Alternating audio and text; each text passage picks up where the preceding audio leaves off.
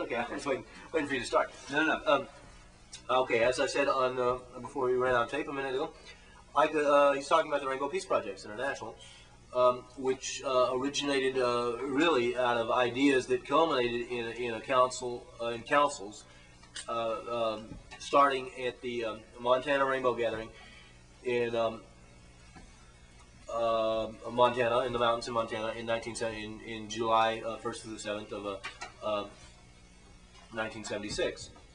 That's the first rainbow gathering. No, this is the uh, fourth, um, wait, fifth Rainbow Gathering. This is the fifth rainbow gathering. Yeah, the, the gatherings were Colorado, Wyoming, Colorado in 72, Wyoming in 73. I was at I was at Wyoming and uh, Utah in 74, and I was at Arkansas in 75, and Montana in 76, and it goes on. Uh, Mexico in 77, Oregon in 78, Arizona in 79, Washington in 80, Idaho in 81. I was at all of those, and he was at all of those.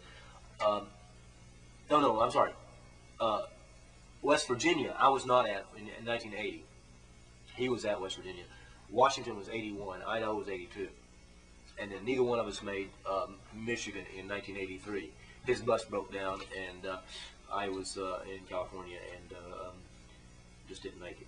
And uh, actually, some people I knew from California came back from Michigan before it was even over, saying bad things about it, and there were all kinds of things. So that's on. Michigan in '83. Yeah, yeah, and I won't go beyond So- that at the moment. Oh, okay. Now, Uh, now this this is written right now. This is dated, yeah, it's Rainbow Hawk in New York State Prison, Stormville, New York, dated September 7th, 1991. 1991. Okay. And So- uh, this was waiting for me when I got back from my little recent trip. And you'd written uh, him a letter, of course. I wrote him a letter to his. Uh, uh, I wrote him a letter with, with copies of the letter that I had sent uh, to his draft board, board uh, that he's coming up for parole now, through the uh, Rainbow Hawk um, Sergei Troyansky um, Defense Fund. Sergei Tro- is a prisoner of conscience in the So- Soviet Union, and they've linked uh, together a whole group of people working on Getting both of them out. not just them, but in general, getting all political prisoners released in the, specifically in the United States and Russia, Eastern Europe, and, and other places too, but especially the United States and, and Russia, because both places claim there are no uh, political prisoners left, really. And, uh, Yeah. The Soviet Union says they're they're cool now, and, and America says it never had any, and both of course, both of course are lies. Okay, anyway, uh, so he, he he's um, telling me about all the Rainbow Peace projects which are going on uh, in Europe and around the world now. Uh, since I sat in on the original uh, councils and and and did a, and, and worked in uh, uh, putting together a lot of the original uh, Peace Village groups and caravans and sites that we did in the western United States mostly, and that all were sort of You're going to have Um, to explain what a peace village is. And what a what a. okay. Well if he does that, then then He does. He does get to it a little bit. There's, Okay. there's a When you get uh, to that part, it, then it you can relates. explain. It relates directly to this PEACE E thing that that that Okay. Barry uh, Okay. Plunker uh, Adams uh, uh, came up with, wh- which is it does sort of capture uh, the spirit of the thing, and that's uh, and I'll uh, you know come back to this later, but that stands for uh, positive energy alternative community environment. And so so the idea is sort of uh, a self-sufficient. Uh, uh, totally clean and ecologically um, um, positive um, um, communal environment that that that uh, uh, on one level is is set up by people choosing to live in a non-city and non-system uh, uh, manner and, and environment. Yeah, yeah. Uh, uh, Okay. But but um, on another level, it's countercultural uh, in the sense that it's not just uh, uh, going to get away from all of it, but it's also uh, to set to, to be able to reproduce such communities and link them and set them up as places for where people can go to from the So- city or from natural Okay. disasters or under under Yeah. times when. And how many are there now? Uh, oh, he covers. Uh, okay, covers wait. that, Well, no, no, I'm not going to read that part. Uh, um, I'll go back and, and, and, get that part a little bit. Let's see. Um, well, yeah, okay. I'll just start. I'll just start at the top of his letter because he, he, he- a little bit. He, uh, uh, he, he calls me Catfish. That's one of my other names. Howdy, Catfish. Been a long time, brother. I think it was Wyoming, where, which was the uh, 73 gathering, the second gathering, where we first met. Though I'm sure we were involved in the same anti-war Vietnam efforts prior to that. I was hyperactive from coast to coast on that, though primarily in Berkeley, New York City, and D.C. Your letter, the letter I wrote to Stratford, uh, several drafts of which I did, I like the final draft best too.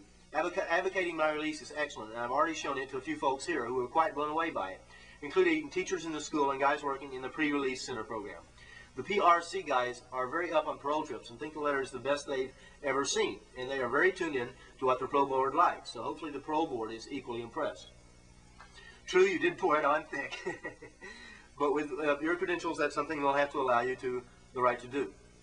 And I'll, I'll comment on that in my letter reply to him, and so you'll get that next week or something. Um, all the political name dropping will also help to throw any doubts they may have totally off, and will probably make them think very seriously about whether you may use those connections if they decide to not grant parole. Um, since federal funding is something that states take very seriously, and you mentioned some big guns on Capitol Hill, although not for those reasons, and, and I'll talk to that later. I would assume that that will also weigh heavily in favor my, uh, of my getting a favorable decision. I've received a few letters from folks at various universities: the University of Arkansas at Conway, uh, Department of Journalism, City University of New York, Staten Island, Department of History, University of Oregon, Eugene, Computer Sciences and Photography departments on school letterhead. So them seeing MIT also represented helps round out the academy support base some. Bob, that's Bob McGlinnis in Brooklyn, who's the head of the uh, Rainbow Hawk Sergei Trolnetsky Defense Committee, uh, or at least uh, the head of it in the U.S., uh, is taking care of assembling the letters and petitions he receives. A really good brother from the anarchist end of the spectrum. There's also a file of letters and petitions from folks who supported my appeal for executive clemency a couple of years ago. And since that department is a part of the Division of Parole, I assume they'll be looking at all those too. Plus, Bob has made sure to remind them to do so. I expect that many letters will, maybe have already, be arriving from Europe as a result of the pamphlet Bob put together being shared, which has been, which has particularly raised much interest from our Russian, Ukraine, Baltic republics, Polish, etc. folks. Of course, the Eastern European and USSR, if you can call it that now, are much more tuned into the political prisoner routine, so more apt to support the cause. Rainbow has become quite the thing in the USSR these days, with Free Initiative, the Moscow Trust Group, Guardians of the Rainbow, Next Stop Leningrad, their peace, uh, their peace village in the Leningrad district, and five to six Russian vessels involved in the peace fleet, and homeported at the Institute for Water Transport in Leningrad. In fact, at the European gathering in Poland, they decided to get together the first regional in the USSR this is brand new. Uh, either in the Ukraine or one of the Baltic republics, though those are no longer parts of the USSR already. we have one peace village in Poland, 12 families of Polish dreadheads, and plans are to add on another site, to add another on the site where the gathering was held, which is available for $55,000 for a 50 square kilometer site. And it is a beautiful site with a river running through it. Just got some 8.5 by 11 um, photos of it that were taken by the scouting troop prior to the gathering. There are a few other Rainbow Peace projects in Europe, mostly focalized out of the Peace Village at Ceggio, Italy, in the Italian Alps, which is a cross between traditional rainbow and a center used for paid type seminars and such that provide funding. A peace school in Austria that evolved out of last year's European gathering in that country is also uh, another evolving project. There's a Rainbow Alternative Center in Norway that focalizes benefit events, provides a space for arts and crafts, writers, etc. type folks. There's also an alternative ski resort and cross-cultural center in Norway. There's a couple of other Rainbow Village trips happening in Spain and Portugal, though not directly affiliated with Rainbow Peace uh, Projects International, though the one in Portugal has a smaller sailing vessel, a 30-footer, that's a part of the Peace Fleet efforts, and plans are to build a much larger trimaran to add to the fleet. I could go on and on about all the various existing and, and evolving Rainbow Peace projects, but that would take hundreds of pages, and you really should send for the Rainbow Peace Project International newsletter for a better overall view. Rainbow Peace Projects International Newsletter, Diane Nestor, Post Office Box 206, Gay Mills, Gays Mills, Wisconsin, 54631. It does cost Diana about $5 to copy and mail 50 plus pages in 8.5 8.5 by 11 format the newsletter and an additional info packet on various events and projects going on that are not directly that are yeah that are not directly parts of Rainbow Peace Project International. And Diana just copies and mails all their invites and info sheets as part of our mutual assistance network. geared to assisting all worthy peace and ecological efforts who send in info. Most folks enter twenty-five dollars to cover receiving the newsletters and info packets for a year, five to six uh,